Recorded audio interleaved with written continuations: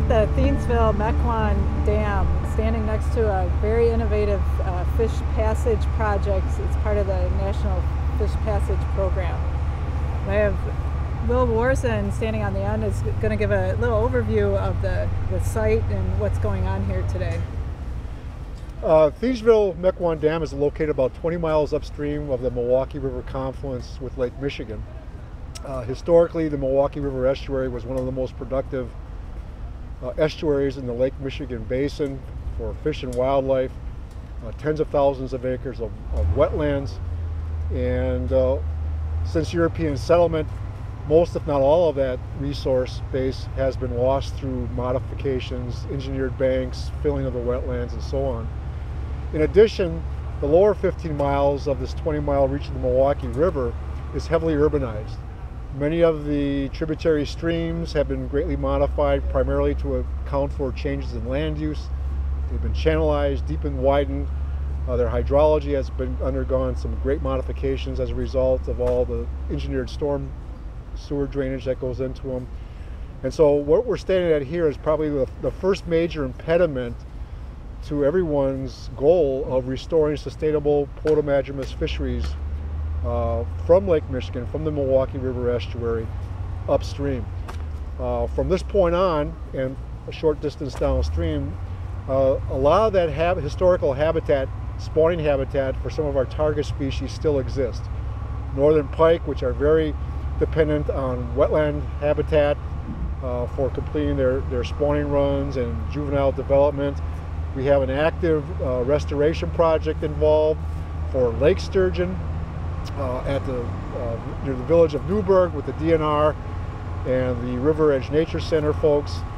Uh, we know, for instance, that many of the uh, sucker species, red, including red horse, smallmouth bass, will migrate tens of miles uh, to reach historical spawning grounds. So this is sort of the, uh, the, the, next major impediment that is going to be eliminated on the lower Milwaukee River. Uh, historically, over 12, 13 dams have been removed in the lower Milwaukee River Basin. Uh, there's one that's currently being removed in Grafton, another one where we're having a fishway uh, or the Ozaukee County staff working with a number of different agencies is working to construct another fishway. Uh, this fishway is about 1,100 feet long. Uh, it's uh, had to be increased by a length by about 66% because of some riparian issues uh, related to uh, keeping a pool of water in perpetuity when they transferred ownership of the mill race to the village.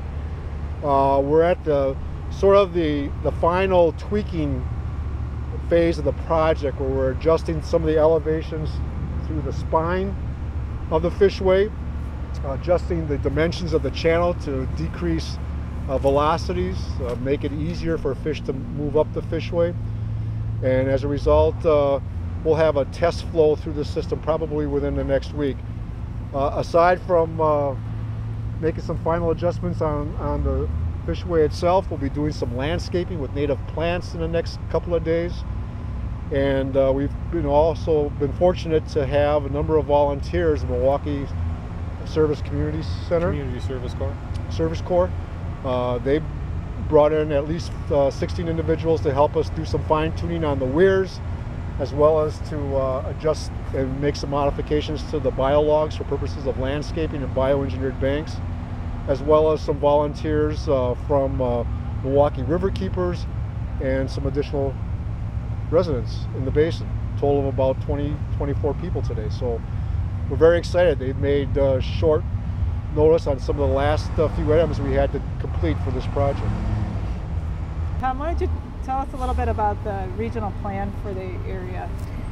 Uh, sure. The uh, projects like this are extremely vital because one of the things we found as part of the regional water quality management plan, management plan for the Great Lakes uh, watersheds here, which includes the Milwaukee, the Root, and the Menomonee rivers uh, and the areas surrounding there, uh, is that fragmentation due to dams and and roadway culverts and bridges, uh, among other aspects in these stream channels, are, are, are absolutely fragmenting fisheries populations and decreasing their abilities to access areas for food and for shelter and, and then for uh, natural reproduction into, into certain areas. And so it is a vital component and, and essential to the overall future for the for recovery of these species and for the abundance and diversity and maintenance of the abundance and diversity for, for native fishes, which is why the Recovery Act uh, monies